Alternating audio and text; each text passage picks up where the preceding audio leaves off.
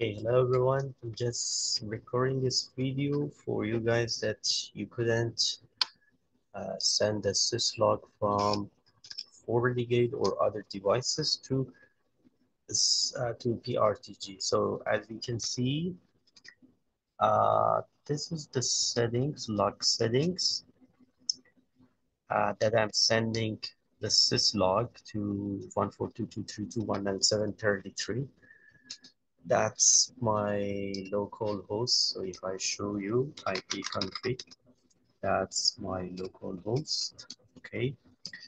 And I have installed my PRTG also on my local host. So now I'm setting uh, syslog receiver. So you can set up it on the local probe and add a device and I call this one FortiGate and then 142.232.197 that's the IP address of my uh, FortiGate device which is 190 okay so I put here 190 and then select FortiGate auto discovery no auto discovery click okay?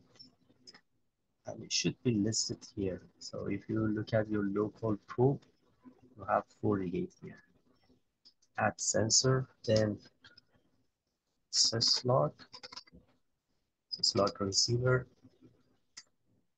Uh, so here is receiving by default on port 514. You can change the port if you have other devices. And here uh, severity is set as 06. You can change to 07. And then click create. So uh, this one now, if you go under uh,